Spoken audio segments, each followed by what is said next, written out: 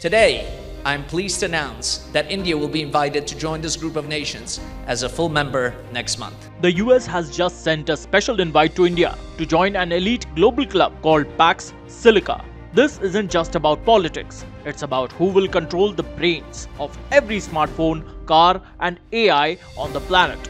This one move could turn India into the world's next big tech superpower. But what exactly is Pax Silica? Think of Pax Silica as a security guard for the world's technology. The name comes from Pax, meaning peace, and silica, that is the material used to make computer chips. In simpler terms, it is a group of powerful countries working together to make sure that the supply of computer chips, which run everything from your phone to fighter jets, is never interrupted. The main goal of this group, led by the US, is to build a silicon peace. They want to make sure that no single country, specifically China, can bully others by cutting off their tech supply. By joining, members agree to share technology, invest in each other's factories, and protect the raw materials needed to make electronics. Pax Silica started as very small VIP only group in late 2025.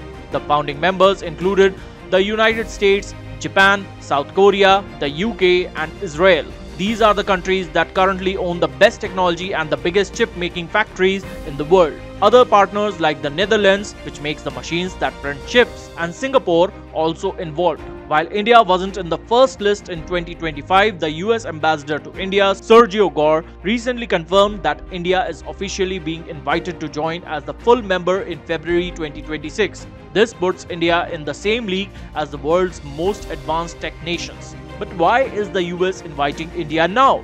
The US realized that they cannot secure the world's technology without India. There are three main reasons for this. The talent factor. According to data from India's Ministry of Electronics, 20% of the world's chip designers are already Indian. If you look at the top chip companies in the US, a huge portion of their brain power comes from the Indian engineers. The China Plus One strategy global companies want to move their factories out of China to avoid political risks. India is the only country with the land, people, and growing infrastructure to take China's place. Real progress on the ground. India is no longer just talking about chips. With the India Semiconductor Mission, big factories are already being built in states like Gujarat and Assam. Seeing this, companies like Microsoft have pledged to invest 17.5 billion US dollars in India by the late 2025 to build massive data centers. And how will this benefit the common Indian? Becoming a member of Pax Silica is a huge win for India's economy and its citizens. High-tech chip factories, that is fabs, create thousands of high-paying jobs for engineers and diploma holders, not just in software but in hardware manufacturing.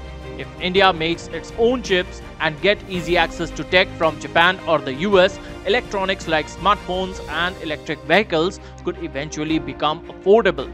In the future, wars won't just be fought with tanks. They will be fought with AI and cyber tools. By being in Pax Silica, India ensures it always has access to the most advanced technology to keep its borders and data safe.